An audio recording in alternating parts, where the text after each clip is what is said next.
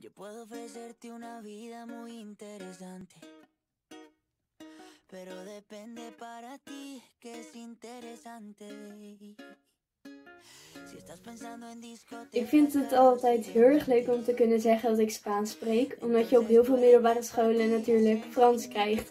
Dus bijna niemand in mijn omgeving spreekt Spaans en dat vind ik gewoon ja, echt bijzonder eigenlijk.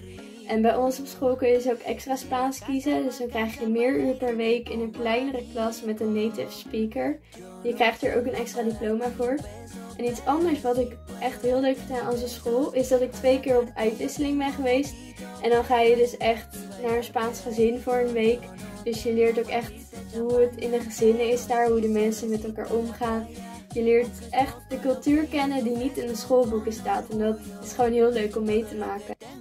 Hola, buenos dias. Um, ik ben Brit en ik zit op Physic Hoofd. En uh, nou, ik denk dat jullie allemaal wel weten dat Spaans een wereldtaal is. En um, ik denk dat jullie ook allemaal wel een paar woorden al kennen. Zoals hola en adios en gracias. Maar mocht je nou veel beter Spaans willen kunnen, dat is natuurlijk ontzettend gaaf. Dan kan je ervoor kiezen om naar Visit Hoofd te gaan. Want hier worden twee verschillende soorten Spaanslessen aangeboden. Je hebt normale uh, Spaanslessen en je hebt Camino Español. En dat is iets lastiger, maar je krijgt er ook ontzettend veel voor terug. Het is heel erg leuk, want je gaat bijvoorbeeld op, uh, op uitwisseling.